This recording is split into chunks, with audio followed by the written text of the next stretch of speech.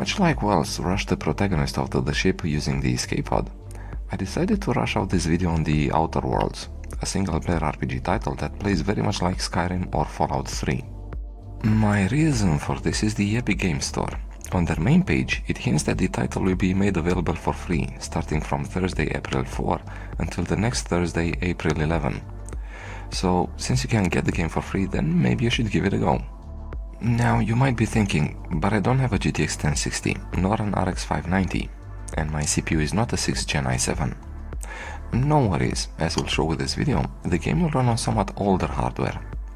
I selected the following video cards to test this.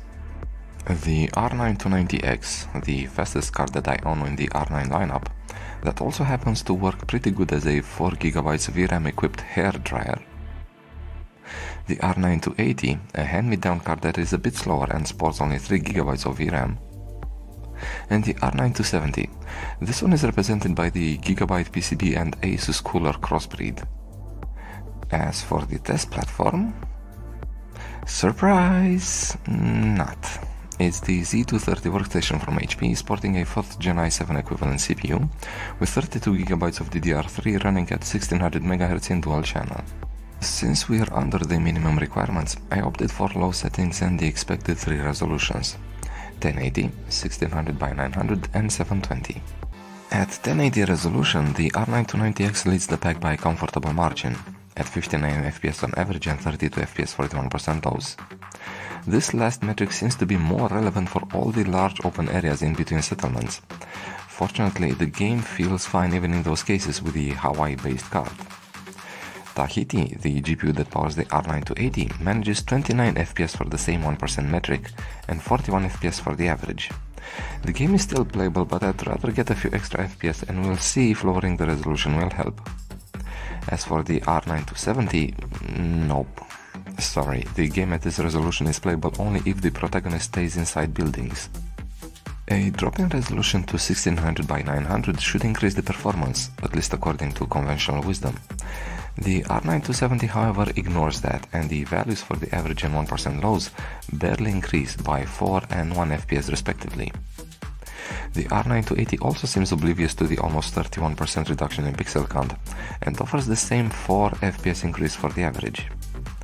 Now, while this hints at a CPU bottleneck, both the average usage percentages for the CPU, of less than 50%, and the result offered by the R9290X claim otherwise. Indeed, the hair dryer runs an average of 77 FPS, 18 more than at 1080, and provides 44 FPS 41% lows, 12 more than previously. 1280 by 720 is my last ditch attempt to get playable frame rates from the Gigasus R9270, but the card still refuses to play nicely. 29 FPS for the average and 11 41% lows. The R9280 finally gets a meaningful performance increase, averaging 57 FPS and providing 37 41% lows.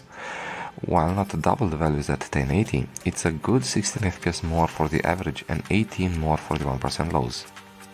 As for the R9290X, the numbers increased to 85 FPS for the average and 47 41% lows. Throughout the tests, it was the R9290X that managed to drive the CPU usage percentage to the high 80s and the fact that the FPS kept increasing suggests that the requirement for a 6th gen i7 is a bit conservative. A 4th gen i7 will probably do just fine.